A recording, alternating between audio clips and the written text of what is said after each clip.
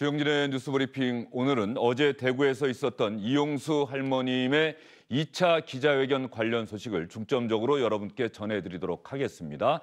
과연 윤미향 당선인은 반응을 보이고 있는지 정의기억 연대는 어떠한 대응책을 내놓고 있는지 정치권은 어떤 반응을 보이고 있는지 여러분께 전해드리도록 하겠습니다. 먼저 어제 이용수 할머님의 기자회견 내용 저희가 영상으로 한번 정리해봤습니다.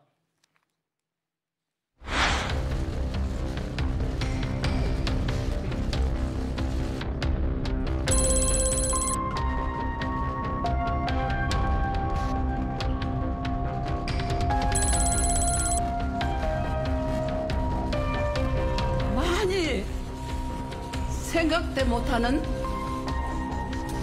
것이 나왔습니다. 제가 생각하기에는 검찰에서 할 일이라고 생각합니다.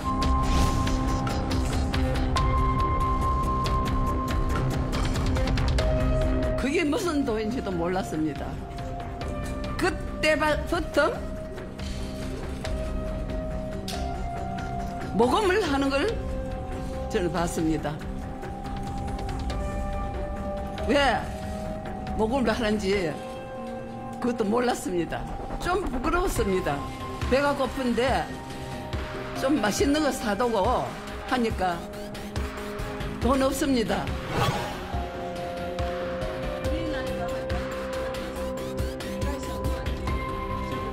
누구한테라도 말할 수 없었습니다. 그러면 경시대 대책 협의회라면 이걸 밝혀줘야 안 됩니까?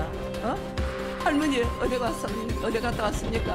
해가지고 밝혀줬는데 한 번도 할머니 아치 가지고 정은 한 번 받은 적이 있습니다.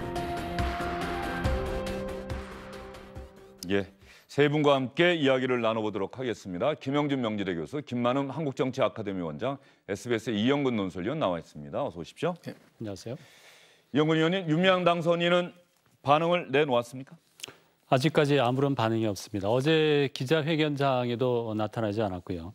지난 7일 날 이용수 할머니가 첫 번째 기자회견을 한 이후에 이제 사태가 확, 확산이 되니까 12일쯤 지나서 19일에 어, 윤미향 당선인이 몇 명 그 측근들과 함께 대구로 이용수 할머니를 갑자기 찾아간 적이 있었죠. 그 자리에서 어, 이용수 할머니가 곧만 조만간 기자회견을 할 테니 그 자리에 와라라고 얘기를 했는데 어제 에, 기자회견장에 과연 나타날 것인가 관심이었는데 나타나지 않았고요.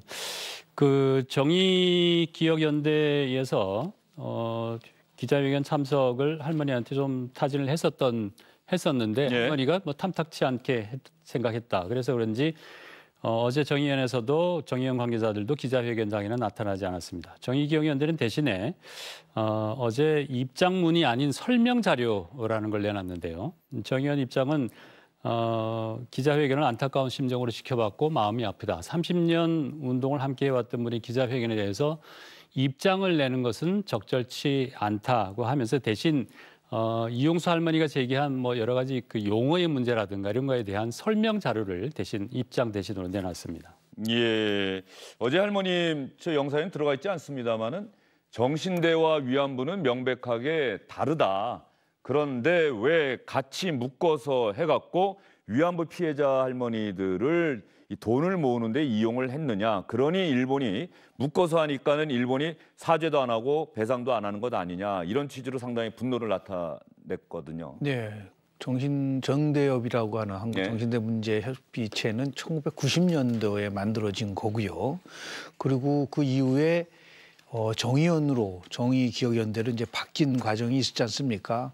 근데 지금 정대협 정의연을 우리 많은 국민들은 동일어로 생각하는 경우가 좀 많지 않습니까? 근데 분명한 거는 어저께 이용수 할머님 말씀은 정신대하고 위안부는 다르다. 그러니까 예. 근로 착취당한 정대협 음, 그 정신대 할머니 분들과 그리고 성착취 노예를 당한 위안부 할머니는 다른데 이것을 같이 함께 함으로써 오는 혼돈의 문제도 있었다라는 거를 이제 지적을 했고요.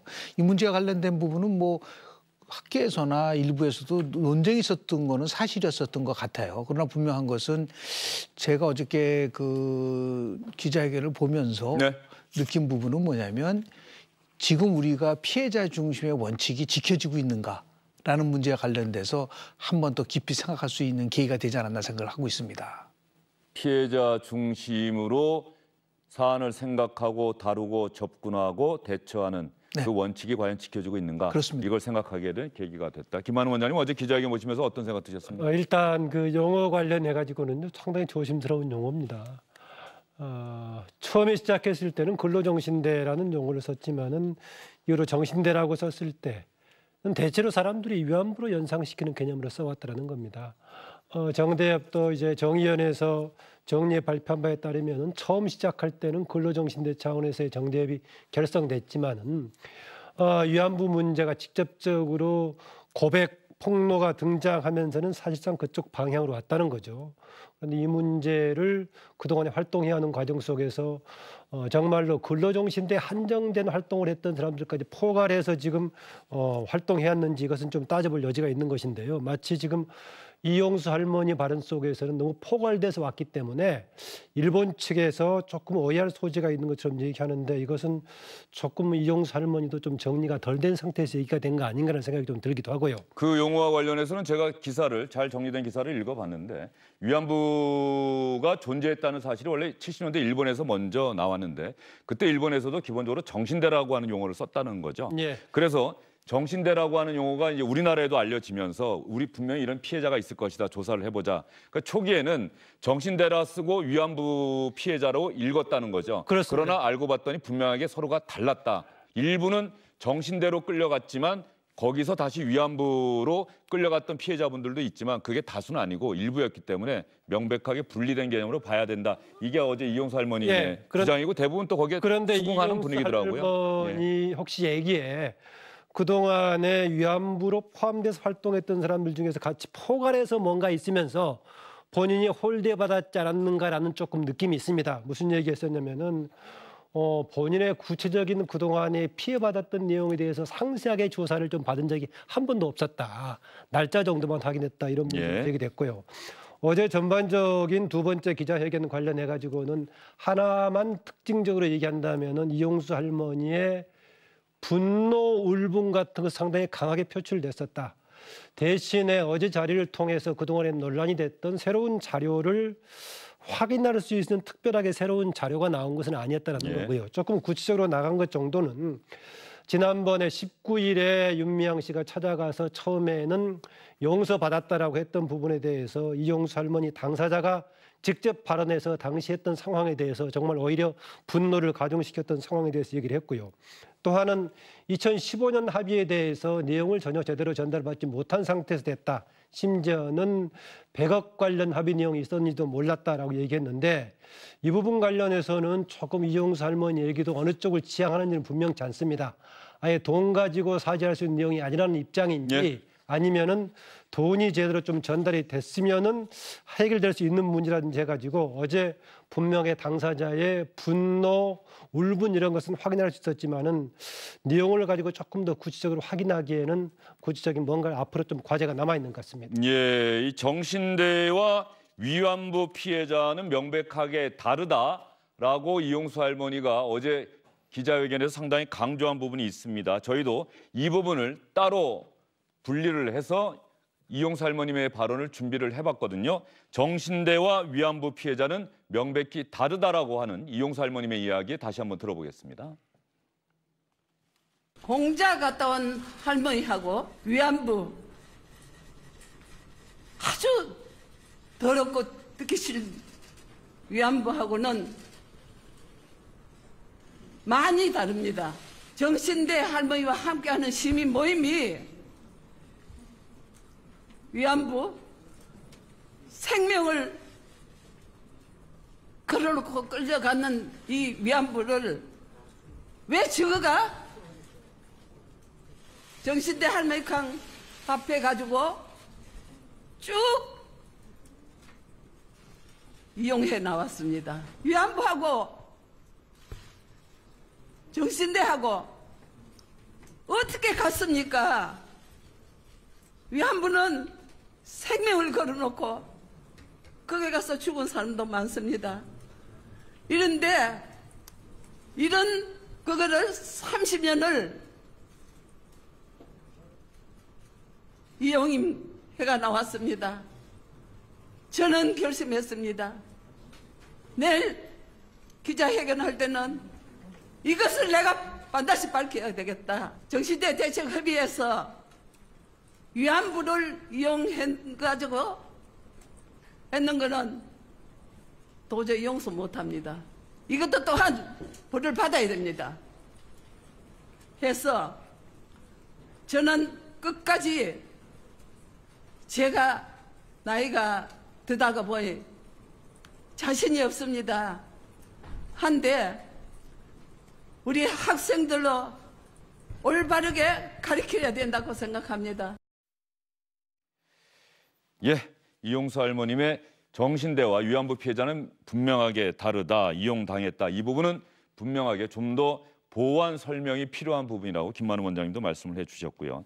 어제 기자회견 이용수 할머님이 한 시간 정도 이야기를 하고 나서 기자 다섯 명의 질문이 있었죠. 이 기자들의 질문에 답변하는 과정에서는 윤미향 당선인과 관련한 질문이 상당히 많았습니다. 이용수 할머님은 뭐라고 답변하셨는지 다시 한번 정리해서 들어보겠습니다.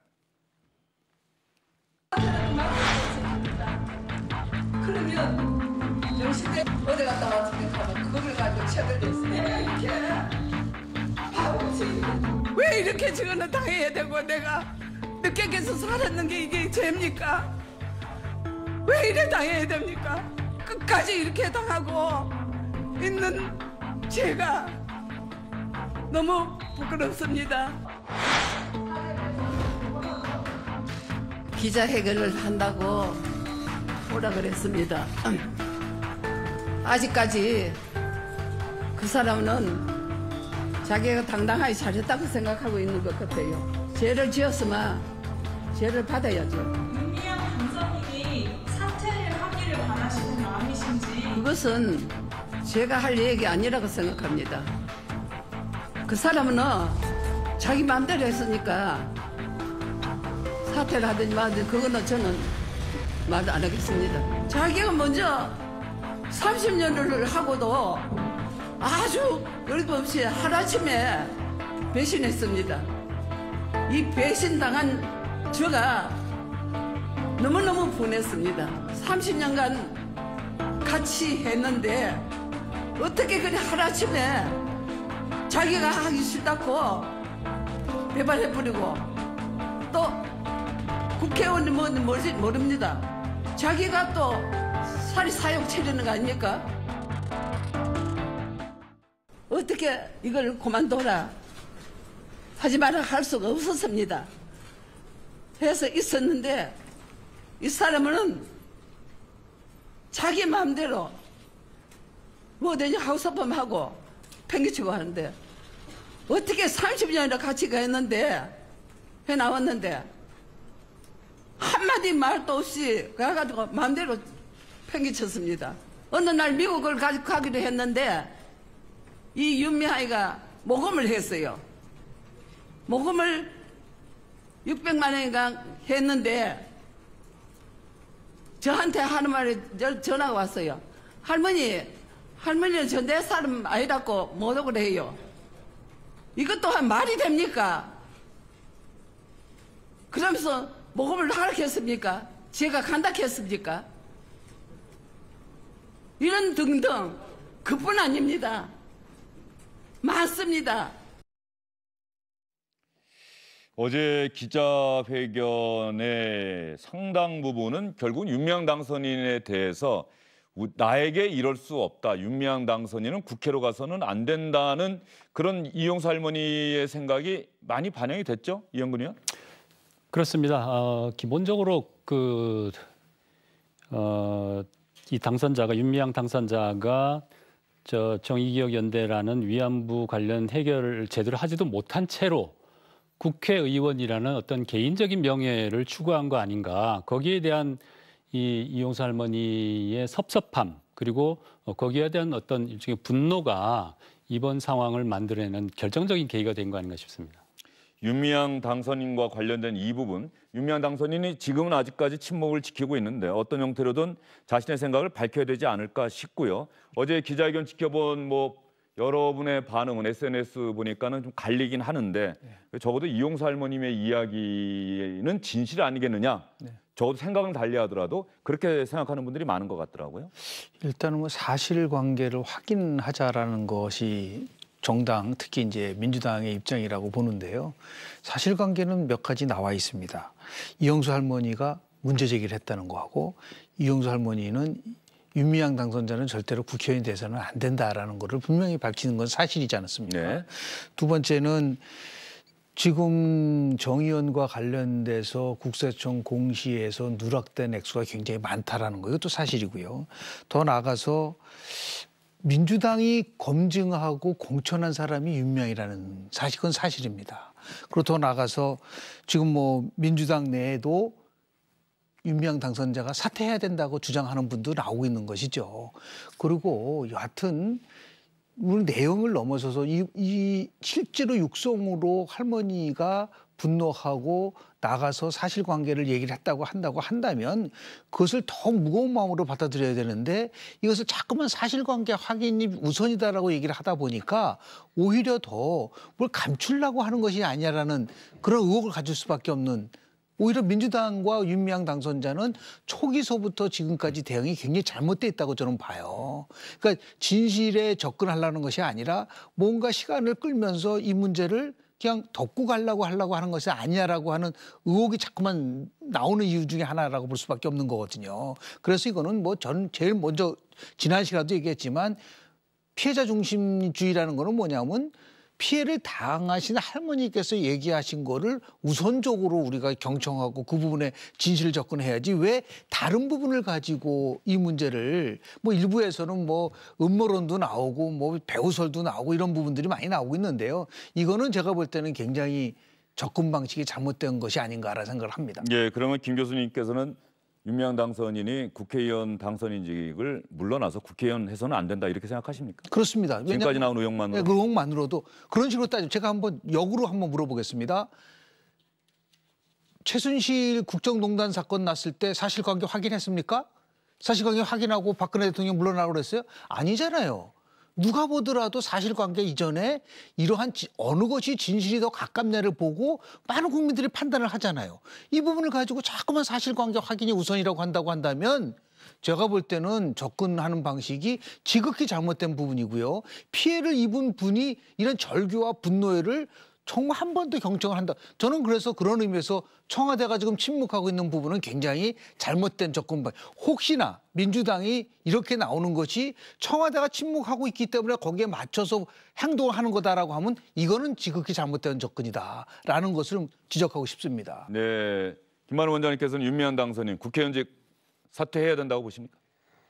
사퇴하는 방향으로 가지 않을까 그렇습니다. 저는 강창일 의원이 했던 말에 굉장히 주목합니다. 어, 일본 전문가죠? 예, 일본 전문가에다가 아, 특히 일의 과거사 문제에 관해서 전문가 활동을 해왔고 이번 중 20대를 끝으로 이제 현역 정치 활동을 은퇴하는 분인데 이 유무죄라든가 책임은 나중에 따지더라도 지금까지 이렇게 전국을 흔들 정도 이 문제 가지고 했다면은 거기에 따른 합당한 책임은 져야 되지 않느냐.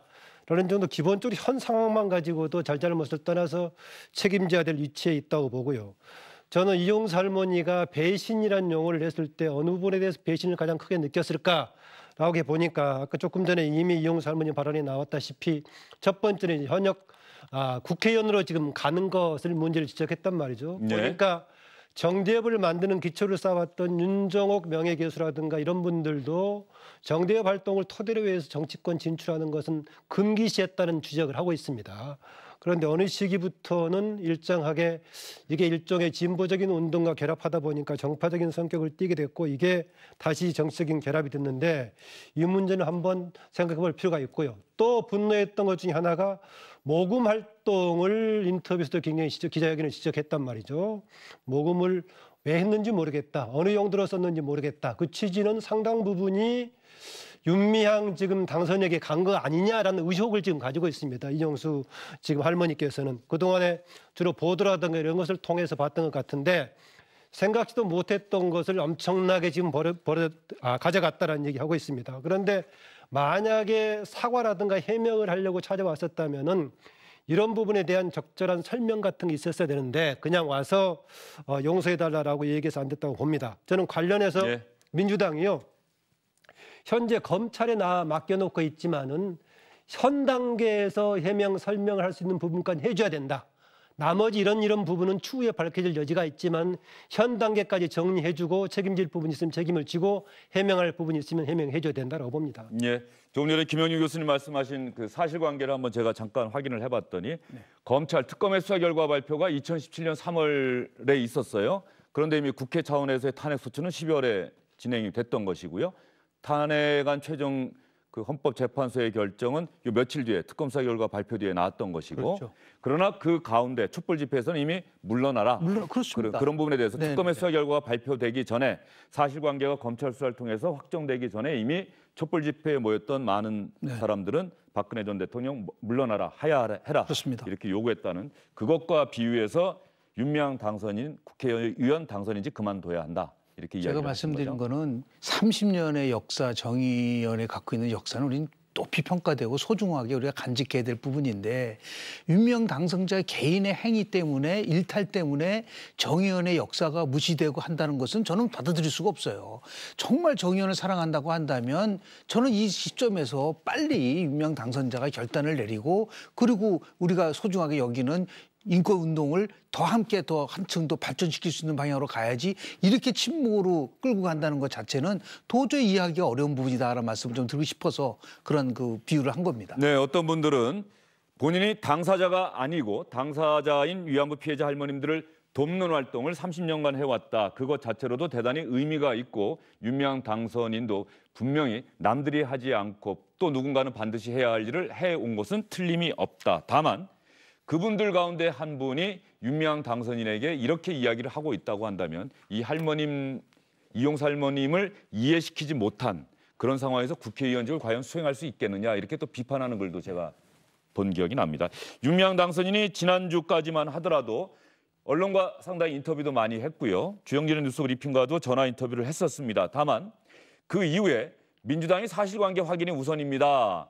그리고 윤미향 당선인이 아마 본인이 적극적으로 소명할 것입니다라는 당 차원의 공식적인 입장을 정한 뒤로는 윤미향 당선인은 언론과의 접촉을 하지 않고 있습니다. 그래서 지난 12일에 주영진의 뉴스 브리핑과 윤미향 당선인이 전화로 인터뷰했던 내용을 여러분과 함께 다시 한번 들어보도록 하겠습니다. 아, 저희가 할머니들 지원하는 거는 예. 꼭 금전적으로 지원하는 거는 어, 특별한 경우에는 하지 않습니다. 왜냐하면 금전적으로 지원하는 것은 2015 한일 합의 이후에 어, 화해치유재단 1억을 받으신 분들과 받지 않으신 분들의 차별을 없애기 위해서 예. 그 목적으로 모금을 위해서 그 목적은 현금을 지급하기 위해서 모금한 거예요. 예. 그 1억을 드린 거죠. 그 법에 따라서 피해자들의 매월 생활비, 의료비, 그리고 어, 간병비 등을 지원하고 있어요. 예. 어느 나라에도 성폭력 피해자들에게 일본군 위안부 피해자들의 이와 같이 어, 존중하고 지원하고 경제적인 안정을 만들어주는 그런 나라는 없어요. 이용수 할머니의 중심은 다른 데 있었다고 생각을 합니다. 할머니가 전하시는 신고를 받았고요. 예. 본인 스스로 피해자라는 이야기도 못할 정도로 굉장히 어, 힘들어했어요. 이야기를 하시는 것 자체를. 예.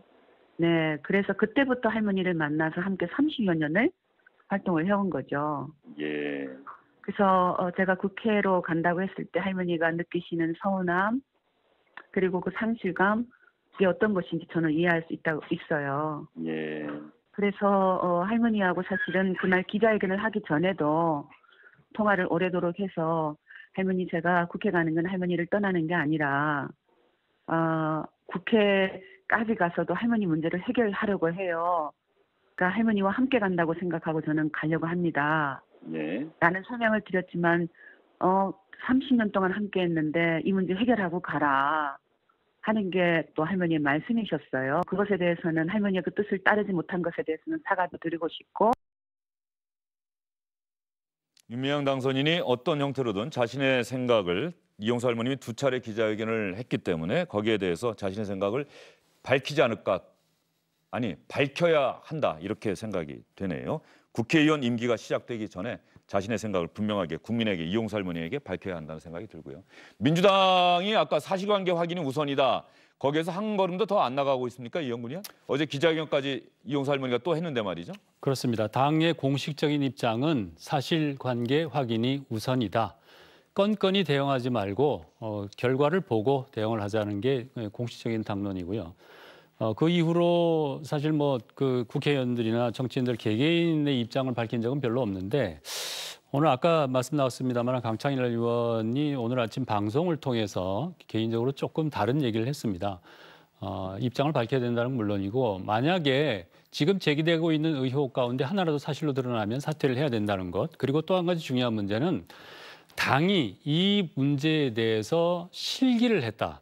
예. 검찰이 수사를 본격적으로 시작하기 전에 당이 구체적으로 그리고 적극적으로 이 문제에 개입해서 뭔가 해결책을 제시했었어야 되는데 실기를 한 것은 굉장히 유감스럽다 이렇게 얘기를 하고 있습니다. 그래서 당내 일부에서는 어, 윤미향 당선인 문제에 대해서 당이 좀 적극적으로 나서야 되는 거 아니냐라는 의견이 일부 나오고 있고요. 대다수는 개별적으로는 의견을 밝히지 않고 있는 상황입니다. 예. 이해찬 대표가 함구령을 내렸습니다만 21대 국회에는 등원하지 않는 정치인들 중심으로 김영춘 의원이 사퇴 이야기했고요. 강창일 의원도 이 정치인이 이렇게 이야기하는 것 사과하고 책임져야 한다. 책임지라는 얘기는 곧 그만두라는 얘기나 다름이 없죠.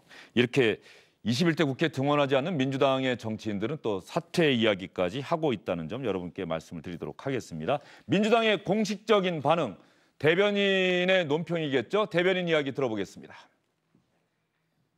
할머니가 좀 절절하게 말씀하시고 또 저희로서도 안타깝고 저 자리에 쓴 것까지 송구스러운 마음이 있는 게 사실이고요. 이전에 기자회견의 연장선상에서 좀 더 더 본인의 말씀을 주신 거다 이렇게 생각하고요. 그 부분에 대해서 안타깝고 송구스럽지만 또, 또 원래, 원래 우리가 가지고 있었던 기존의 생각 또한 같이 결과를 보고 진행하겠다라는 것도 말씀드렸습니다. 또 국회에 개원되거나의 문제 이전에 검찰이 수사하고 있는 사안이기 때문에 그 사안의 결과가 가장 중요하고 그것이 사실관계가 밝혀진 다음에 당의 입장, 개인의 거치 뭐 이런 것들이 다 되는 것이 순서다라고 생각합니다. 민주당의 반응은 지난주나 어제 기자회견이 있고 난 직후에나 똑같습니다. 다만 이 사실관계 확인이 언제 되는 건지 검찰 수사가 끝난 이유가 되는 건지 국세청이나 행안부의 조사 결과가 나온 이유인지 이 부분은 아직도 불명확하고요. 그렇다고 한다면 윤미향 당선인은 30일부터 21대 국회의원으로서의 임기를 시작하게 되는데 국회의원이 되고 나서 결정을 하겠다 이런 뭐 취지로 해석이 됩니다. 미래통합당은 공세를 강화하고 나섰습니다. TF까지 구성했죠.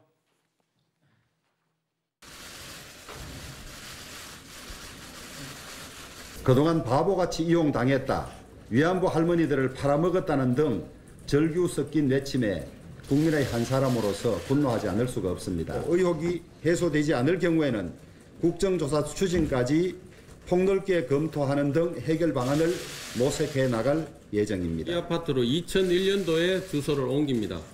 어, 오늘 아침에 윤명 당선인에 대해서는 95년도에 수원시 송죽동에 있는 빌라 매수한 이때부터 어, 계좌, 추, 계좌 추적에 나서 주실 것을 검찰에 요청합니다. 92년부터 정신대 할머니 돕기 국민운동보건부에서 모금운동을 시작했습니다. 95년도 송죽동 빌라를 매수한 때부터 자금 추적이 필요하다 하는 부분을 어, 말씀드립니다. 곽상도 의원이 예전에 청와대 민정수석을 했는데 계속해서 저격수 활동을 하고 있다 뭐 이런 기사도 나오던데 말이죠. 윤명 당선인이 집을 구입했는데 뭐가 문제라는 겁니까? 곽상도 의원 얘기는? 어, 어제 곽상도 의원이 새로 제기한 의혹은 어, 윤미향 당선인과 남편인 그 수원시민 신문의 대표인 김삼석 씨 그리고 부친 이 세 사람의 이름으로 지난 1995년부터 2017년까지 다섯 채의 빌라나 아파트를 구입을 했는데 모두 현금으로 샀다는 겁니다. 그러니까 어, 두 사람 그 일가의 수입이라는 게 빤한데 도대체 돈이 어디서 나서 어, 이 다섯 채나 되는 어, 부동산을 현금으로 매수를 했는지 검찰에서 수사를 한다면 이 95년도 어, 이 처음 빌라를 매수한 이 시점부터 계좌 추적을 해야 된다. 왜냐하면 92년 1992년부터 정대협이 예, 위안부 정신대 할머니 돕기 국민운동본부를 이름으로 모금을 시작했거든요. 그- 그 시점이 93년쯤 뒤에 부동산 매수가 시작됐으니까 이 모금을 한 돈과 부동산을 매입 95년이라고 지금 나오는 것 같아요. 93년이 또 있습니까? 3년쯤 예, 지나서 93년 3년쯤 지나서 3년쯤 지나서 93년이 아니고 어, 부동산 매입이 시작된 거니까 이 돈이 연결고리가 있는 것 아니냐라는 의혹이죠. 그런 취지의 의혹을 제기를 했습니다. 예, 그렇다고 해서 현금으로 샀다 명확한 뭐 증거를 된 건 아니죠? 뭐 구체적인 의원이. 네, 예. 물적을 제기한 건 아닙니다. 네. 이게 이용수 할머니의 기자회견 이후에 많은 언론들이 또 추적 보도를 하고 취재도 하고 그러면서 윤미향 당선인과 정의기억 연대의 불투명한 회계 처리 관련 의혹도 제기했고 이 집을 매입하는 과정에 대해서도 또 여러 가지 의혹들이 나왔는데 뭐 어떻습니까? 미래통합당이 이렇게 적극적으로 나서는 것 그동안 우리나라에서 있었던 많은 일들이 어떤 하나의 현안이 불거지고 나면 여기에 정치권이 개입해서 소득을 얻은 적도 있지만 정치권이 개입함으로 인해서 정치 쟁점으로 변질하면서 본래의 이야기는 사라지는 이런 일도 있었는데 이번은 어떻게 보세요? 예, 곽상도 저 의원의 발언을 계기로 해가지고 지금 못마땅해 하는 쪽들은 이걸 상당히 정파적인 쟁점으로 다시 좀 몰아가려고 하고 있는 것 같습니다. 초반에 이 문제가 불거졌을 때 윤미향 당선인을 옹호하려는 쪽에서는 친일 세력 보수 언론들의 공세다라고 나섰죠. 당시는 이걸 옹호하려고 했던 여당 측에 오히려 문제가 있어가지고 이걸 사그러들었는데 이번에 다시 이제 곽상도 의원이 계속해서 이 문제를 이제 에, 새로운 뭔가 주장들을 하고 나오니까 나오고 있고요. 어제 심지어는 곽상도 의원이 그 이용수 할머니 기자회견장 현장에 있었다라는 잘못된 주장까지 계속 나오고 있습니다. 예. 그런데 어, 곽상도 의원의 이 문제를 제기할 때 조금 더 정리해서 해준다면은 이게 정파적인 대립으로 가는 것을 막을 수 있지 않을까 그렇습니다. 예컨대 다섯 채를 모두 동시에 보유했던 것이 아니라 시기적으로 매매를 했기 때문에 어떤 경우는 팔고 샀을 수도 있고 이런 과정이 있- 있을 거 그리고 아니겠습니까? 그 가격이 예. 대부분 2억 원대더라고요. 또뭐 그리고 하나 8천만 빌라는 8천만 8천만 원대고 가니까는요. 다 합쳐도 10억 원 정도 되는 건데 물론 뭐 현금으로 만약에 예. 곽상도 의원 이야기도 현금으로 샀다고 한다면 이 예. 많은 현금이 어디서 나왔는지 어쨌든 간에 다섯 번의 거래를 모두 다 현금으로 산 것처럼 보이는 것 자체는 그렇게 여러 가지 사는 그 직업 형태로 봤을 때는 좀 특별하긴 합니다. 주목해 보려면 하는데 조금 더 곽상도 의원도 좀 정리된 가운데 이 문제를 제기해 줬으면 하는 얘기를 하고 싶습니다. 예.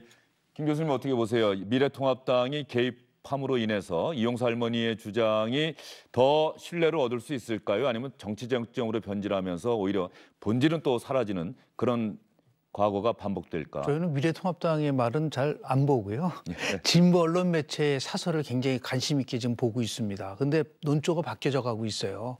왜냐하면은 일관성 있게 윤미향 당선자가 책임지고 모든 것을 정확하게 밝혀야 된다로 바뀌고 있습니다. 그러니까 그거를 주목해야 돼요. 이게 단순하게 제가 모두에 말씀드린 것지만 문제 제기에 누가 문제 제기를 했냐라는 게 핵심이고 그 문제 제기의 내용이라는 것이 정의연 자체를 가지고서 공격한 것은 아니고 윤미향 당선자를 중심으로 해서 일탈 행위에 대한 부분들 그리고요 회계 누락이라는 것은 실수 있을 수 있습니다. 그러나 실수가 반복이 되면 부정이 되고 부정이 반복이 되면 횡령 배임이 되는 겁니다. 어떻게 일괄성 있게 실수가 계속해서 반복적으로 나올 수가 있는가에 대한 부분들도 누가 결국은 이 문제에 관련돼서 지금 얘기하는 곽성도 의원은 의혹 제기를 한 거라고 한다면 이 문제가 이렇게까지 나왔다고 한다면 어떻게 다섯 채를 구입했는지에 대한 것을 정확하게 해명할 수 있는 당사자는 윤명 당선자 이외에는 없어요. 물론 검찰이 물론 이제 조사할 수 있을 수 있겠으나 그런 의미에서 더욱더 빨리 각종 의혹에 대해서 당선자가 분명하고 명쾌하고 정의원도 마찬가지죠. 그런 부분에 대한 책임감 있게 이 문제를 좀 접근했으면 좋겠다는 말씀 좀 드리고 싶습니다. 그러면 다른 정당 반응들도 한번 살펴볼까요? 정의당과 국민의당 어떤 반응 내놓았는지 장혜영 정의당 혁신위원장이죠. 이제 위원장이 됐죠. 윤미향 관련 데스노트를 정의당에 묻는다면 그것은 민주당이 대답을 해야지 정의당이 대답할 일이 아니다. 책임 있는 민주당의 태도를 촉구한다. 국민의당. 윤미향 당선인 자신의 거취 문제를 스스로 정리하는 것이 위안부 할머니에 대한 인간적인 도리다라고 이야기를 했습니다. 자 여기까지 정치권 움직임 살펴보고요. 이용수 할머니가 어제 기자회견 통해서 정말로 말하고 싶어했던 핵심은 무엇이었는지 또 이용수 할머니 어제 기자회견과 관련해서 이런저런 배우 소리 나오는데 그런 부분들은 또 어떻게 되는지 간략하게 저희가 이야기를 나누고 주로 이용수 할머니의 이야기를 좀 들어보도록 하겠습니다. 이용수 할머니가 기자회견 시작하면서 뭔가 하나 이렇게 종이를 흔들면서 이야기를 했던 게 있는데 한번 들어볼까요? 처음에 기자회견 할 때 이것이 있습니다. 있는데 이것을 제가 이르기는 좀 힘듭니다. 해서 여, 여, 여러분 전부 그 카메라로 찍었으면 좋겠습니다. 한 부밖에 없는데 이거는 파일, 파일 로 우리가 저희가 돌리면 되니까 제가 그걸 하겠습니다. 예. 그래서 이것은 이따가 이제 돌려드리면 되고 돌려지가고 저 기자회견문은 어제 할머니가 직접 말로 한 부분에 다 언론들이 주목하다 보니까 기자들이 잘 몰랐는데 네. 저 기자회견문은 제가 읽어봤는데 할머니가 직접 썼다는 생각은 잘 안 들더라고요. 누군가 정리했던 것 같다는 생각이 좀 들던데요. 뭐 정리를 한 건 아마 분명할 예. 겁니다. 저 할머니 입장에서 기자회견문이라는 일종의 어떤 서류 형태의 입장문을 작성한다는 건 쉬운 일이 아니었을 거고요. 어, 저희 제 짐작으로는 제 추측이긴 합니다만 본인이 본인의 의, 의사를 구술을 하고 그것을 어, 누군가가 어, 정리를 해줄 수 있, 해주는 방식으로 만들어진 게 아닌가 싶은데요. 어제 기자회견문에는 어, 본인이 그 위안부로서 당했던 고통의 문제 여러 가지 문제를 얘기하면서 또 한 가지 그 사실은 중요한 부분이긴 한데 위안부 활동의 향후 방향과 관련한 여섯 가지 원칙을 제시를 했습니다. 예. 그래서 어, 이런 부분들을 좀 눈여겨 봐야 될 것 같고요. 이걸 표현이나 이런 것들이 할머니가 하기에는 할머니 여법과 다르다고 해서 배우설을 제기하는 것은 조금 과한 지적 그 의혹 제기가 아닌가 싶고요. 그렇죠. 예. 이영근 의원이 그 이야기를 하셨는데 네. 뭐 최용상 가자인권 평화당 평- 가자인권 평화당 맞죠? 평화인권당인가요? 네, 가자 이 평화. 당 이름도 사실 좀 어려워서 예 최용상 대표가 1차 기자회견 주선도 하고 준비했고 윤미향 당선인은 국회의원이 되고 자기는 떨어졌으니까 불만을 품고 이렇게 배후에서 조종하는 것이다. 뭐 다 좋은데 이용수 할머님 어제 기자회견 봤습니다만 기자회견하면서 하시는 이야기가 누가 이렇게 이야기하라고 해서 한 그런 내용인가요? 그렇게 보이셨어요? 저는 기억이 굉장히 뚜렷하셨어요. 그리고 더 나아가서 아 뭐 당연히 도움을 받을 수 있죠. 대통령 기자회견문을 대통령이 항상 씁니까? 대통령 의견을 얘기를 하면은 잘 정리하잖아요. 근데 저는 그것보다도 세 가지 원칙, 시민 주도 방식으로 가고 과정의 투명성, 그리고 30년 투쟁 성과에 대한 것들을 계승하자라고 하는 것이 마지막에 있지 않습니까? 이 부분도 저는 굉장히 중요한 지적이라고 보기 때문에요. 80%는 물론 그동안 얘기했던 부분이 있더라도 나머지 20%에 대해서 할머니께서 말씀하신 이 부분들도 우리가 좀 깊이 인식하면서 같이 갈 수 있는 미래 방향성과 관련된 부분들도 잘 우리가 좀 숙지하고 그걸 정리해야 되지 않겠는가라는 생각을 좀 개인적으로 했습니다. 예, 알겠습니다. 어제 이용수 할머니 기자회견 중에 정말로 할머니가 꼭 하고 싶었던 이야기 저는 이 대목 들으면서 사실은 참 가슴이 아팠는데 언론 보도는 대부분 윤미향 당선인과 관련한 부분에 집중이 됐는데 말이죠. 이 내용을 다 들려드리기는 좀 시간이 어떨까 모르겠습니다. 일단 이용수 할머니가 여성이라고 하는 부분, 그래서 전 세계 여성들에게 정말 미안합니다라고 이야기를 합니다. 왜 그러셨을까 하는 생각을 좀, 좀 해봤는데 일단 그 부분 이야기 좀 들어보도록 하겠습니다. 허리를 발길로 차가지고 엎어졌는데 너무너무 배에 찢어져도록 아프고 죽도록 아파가지고 저 잘못한 거 없습니다. 그런데도 잘못했다고 빌면서 살리도록 했습니다. 이런데 또 머리를까지 뜯고 앉혀가지고 두 팔을 한쪽 팔 이래 놓고 이한 그 테이블가 있는데 거기에다 놓고 여기 하나 감고 여기 하나 감고 지금 머리에 귀에 소리 납니다. 그때 제가 엄마라고 크게 불렀는 여기 귀에서 나는지 머리에서 나는지 이것을 어린 나이에서 보통 지금까지 지금도 납니다. 이래도 이걸 왜 그런지 누구한테라도 말할 수 없어집니다. 하늘나라에 가서 할머니들한테 내가 이렇게 해결하고 왔다. 언니, 동생들, 내가 이렇게 해결하고 왔으니 나를 용서해 달라고 빌랍니다. 그래서 그거를 생각하니까 너무 지가 미안하고 한데 저는 하나도 부끄러움이 없습니다. 이렇게 위안부입니다. 위안부. 위안부가 그두 두 가지가 여자입니다. 이것이 저는 세계의 여성분들께 피를 끼치고 있다고 생각하면 너무 참 미안하고 부끄럽습니다. 모든 여성분들에게 정말 미안합니다. 여자이기 때문에 이런 누명도 쓰실 것이고 또 여자이기 때문에 여자다. 위안부는 여자다. 하는 것 때문에 여러분들도 그런 소리도 들으실 겁니다. 해서 제가 한 사람 한 사람한테 어떻게 합니까? 이런 기자회견을 통해서 세계 여성분들한테 이 확실한 위안부가 여러분들의 여자라는 두 글자가 손상을 입다는 게 참 죄송합니다. 하는 걸 말씀드리고 싶었습니다. 예. 할머님이 올해 연세가 93살이라고 하는데 과거에 대한 기억이 참 또렷하지요. 그리고 평화인권 운동하면서 위안부 피해자 내가 이거인 건 전혀 부끄럽지가 않은데 세계 여성들에게 여자 그래서 여러분들한테 미안합니다. 참 죄송합니다. 왜 이런 이야기를 하셨을까를 자꾸 생각하게 됩니다. 그리고 어제 기자회견장에는 일본 기자도 있었습니다. 일본 기자가 참석해서 질문을 했는데 어떤 질문하고 답변이 있었는지 한번 보겠습니다. 2015년 한일 위안부 합의 때그 윤미향 씨가 다른 할머니한테 일본 쪽 돈을 받지 말라고 그 그런 다시 보도도 나왔는데 그에 대해 어떻게 그 생각하는지 궁금합니다. 그 2015년에 돈이 나왔는지 만지 그거는 저한테 비밀로 했어요.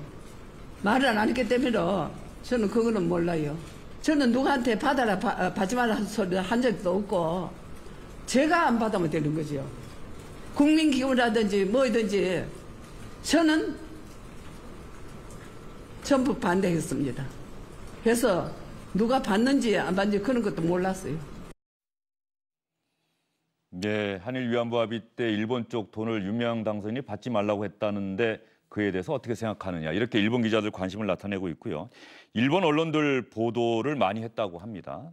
특히 일본군 성노예라고 정의기억 연대에서 그렇게 명칭을 바꾼 데 대해서 할머니가 왜 성노예라고 하느냐 뭐 이렇게 반박했다는 부분을 중점적으로 보도하면서 이 성노예가 아니다 이런 식의 일본식의 보도가 있었고요. 이 산케이 신문은 워낙 극우 성향이니까 뭐 말씀드리지 않겠습니다. 마이니치 신문은 정치권의 움직임까지 보도를 했다고 합니다. 이렇게 일본에서는 이용사 할머님의 기자 회견 저희는 있는 그대로 받아들이고 이것이 평화인권운동 정의기억 연대 활동을 새롭게 다잡는 그런 계기가 돼야 한다. 지금까지 30년 동안의 활동이 절대로 훼손돼서는 안 된다. 이렇게 생각을 하고 있는데 일본 언론들은 또 다르게 접근하고 있겠죠. 이러다 보니까 이용사 할머님이 기자회견 말미에 정말로 간곡하게 당부한 내용이 있습니다. 그 자리에 참석한 기자들이 대부분 어린 젊은 기자들 아니었겠습니까? 할머님이 꼭 하고 싶었던 말씀은 바로 이거였을 것 같습니다. 여러분들 제가 또 부탁드립니다. 여러분들 피해자가 아니라고 해서 여러분들이 안심하면 안 됩니다. 여러분들도 다 피해자입니다. 조상님들이 다 끌려갔고 또한 대한민국의 형제, 자매 이런 사람들이 다 가있으니까 여러분들이 책임감을 가지고 이 문제 해결에 앞장서셔 가지고 그 후손들께 옳은 올바른 역사 교육을 시켜서 이 위안부 문제 강제 연행 문제를 해결 안 하시면 안 됩니다. 대대로 내려갑니다. 대대로. 제가 이렇게 있어도 분명하지 않습니까? 있어도 거짓말하고 또 우리 대한민국 사람도 그걸 모를 겁니다. 모르는 사람이 많습니다. 그래 서로 서로 아리켜 가지고 이 문제는 해결해야 된다고 생각합니다. 네, 해결하지 않으면 대대로 내려갑니다라고 말씀하셨네요. 세 분간의 여성 인사드리겠습니다. 수고 많으셨습니다.